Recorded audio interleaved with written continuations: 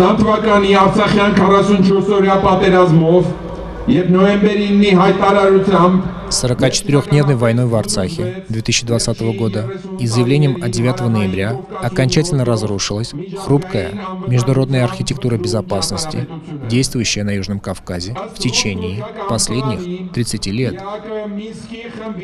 Согласно российско-турецкому плану, Минскую группу ОБСЕ должен был заменить инициированный ими же формат 3 плюс 3. Согласно его авторам-заговорщикам, регион Южного Кавказа должен был быть закрыт для Запада. И, конечно, все это за счет армянских интересов.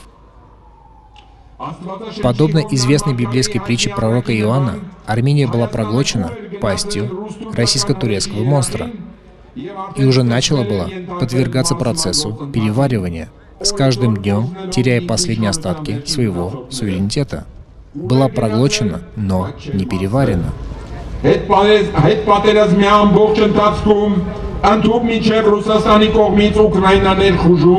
За весь послевоенный период, вплоть до вторжения России в Украину, о чем недавно свидетельствовал действующий председатель ОБСЕ, Запад пытался восстановить деятельность Минской группы, чему, кстати, успешно противились известные участники заговора России, Турции, Азербайджана, а также пятой колонны в Армении.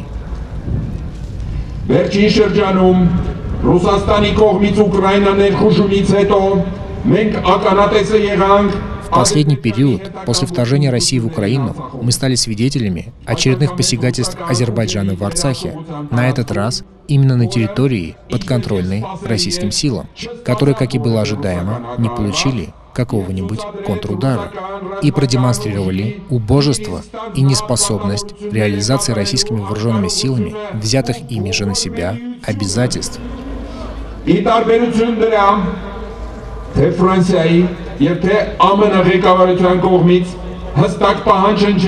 в противоположность этому, со стороны руководства как Франции, так и Соединенных Штатов прозвучало четкое требование прекратить посягательство, что стало для Азербайджана холодным душем. И буквально вчера, в качестве результата последовавших друг за другом встреч в Брюсселе и в Москве, фактически прозвучала новость о смерти Минской группы составной части архитектуры региональной безопасности, так как стало ясно, что ее нельзя собрать за одним столом.